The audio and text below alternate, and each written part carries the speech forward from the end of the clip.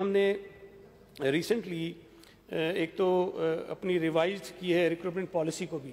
Sir उसकी वजह यह है कि लास्ट टाइम जितने टीचर्स हमने अपॉइंट करने थे, जितनी वैकेंसीज हमारे पास थी, जब हमने एडवर्टाइज़ किया तो जो हमारी रिक्वायरमेंट थी, जो क्राइटेरिया था, जो क्वालिफ़िकेशन रिक्वायर्ड थी, उसके हिसाब से उतने अफराद आए नहीं। और जब हमने वो टेस्ट भी करवाए तो टेस्ट में भी मैं आपको बता दूँ, एक बड़ा वो मशहूर एक I B H M head masters हैं, जो आई बी ए के थ्रू अपॉइंट हमने किए थे। 2000 हमारे पास वैकेंसीज थी। लेकिन जो अपॉइंटमेंट हुए, वो 958 के करीब थे, जो जिन्होंने क्वालिफाई किया फाइनली आकर वो अपॉइंट हो गए तो वो भी लोग कम हुए। इसी तरह जे ई एस टी जब हम अपॉइंट करने गए तो वहाँ भी जितनी हमारे पास सीटें थी, उतने हम अपॉइंट नहीं कर सके। जो क्राइटेरिया में रखा था, उसके मुताबिक वो क्वालिफाई नहीं कर सके।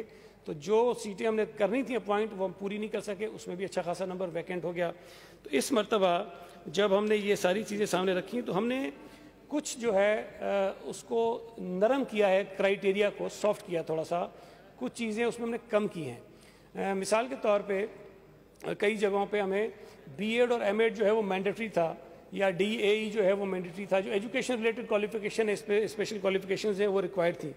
तो वो हमने, सर ख़त्म की हैं, और जो वैसे क्वालिफिकेशन रिक्वायर्ड है, कहीं मास्टर्स चाहिए, कहीं इसको हमें बैचलर्स चाहिए, कहीं हमने इंटरमीडिएट की रखी है लेकिन साथ साथ हमने ये ज़रूर कहा है कि जिसके पास एजुकेशन की स्पेशलाइज कोई डिग्री होगी तो उसको हम कोई एक्स्ट्रा नंबर्स उसके मार्क्स होंगे उसके अंदर ताकि वो उसको एडवांटेज उसका मिल सके।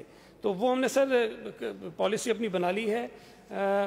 चीफ मिनिस्टर साहब के पास हम भेज रहे हैं और कोशिश करेंगे कि कैबिनेट में भी इसको ले जाएँ ताकि अगर कैबिनेट का कोई इसके ऊपर व्यू हो तो वो भी उसके अंदर इनकॉर्पोरेट कर लें। उसके साथ साथ सर चूँकि हमने इसके सारे जो टेस्ट थे, वो आई बी एस अखर से करवाने थे हमने आई बी एस के साथ भी एम ओ यू साइन कर लिया है और वो भी बिल्कुल इन प्लेस है।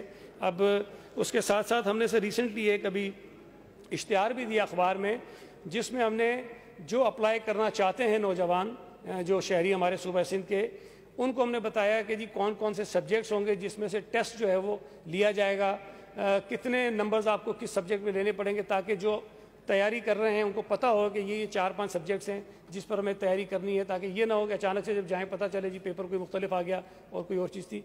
तो हम पूरी कोशिश कर रहे हैं कि एक तो सहल बनाएँ, ताकि मैक्सिमम नंबर्स उसके अंदर आ सकें नौजवानों के ट्रांसपेरेंट करें, मेरिट पर करें। आई अखर को हमने रखा है। मैं नहीं समझता कि उसके ऊपर किसी को कोई एतराज़ हो सकता है। माजी में भी उनका ट्रैक रिकॉर्ड बहुत शानदार रहा है।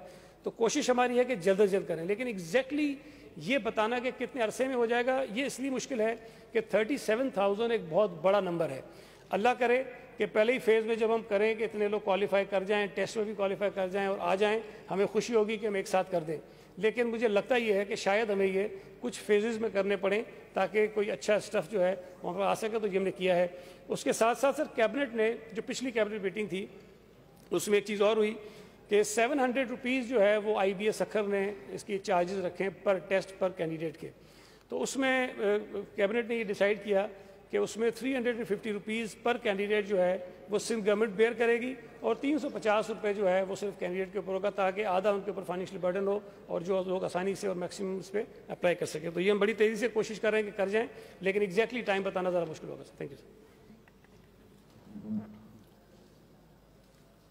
thank you speaker साहब। स्पीकर साहब मिनिस्टर साहब ने बड़ी अच्छी बात की कि जहाँ पर प्राइमरी स्कूल